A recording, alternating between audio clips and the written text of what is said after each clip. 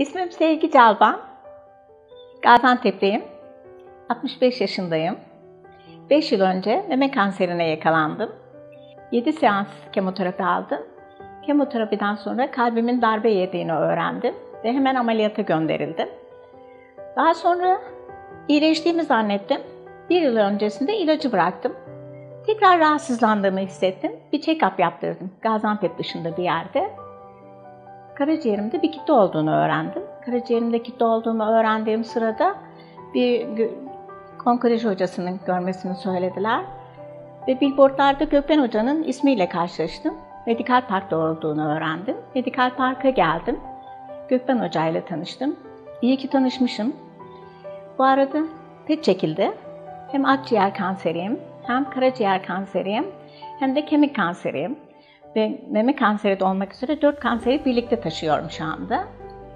Ama Gökben Hoca sayesinde bana akıllı ilacı uyguladı ve ben şu anda %80'leri yenmiş durumdayım.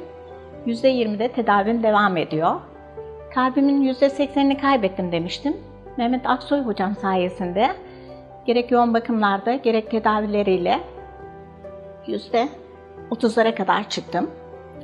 Mehmet Aksoy hocama da çok teşekkür ediyorum.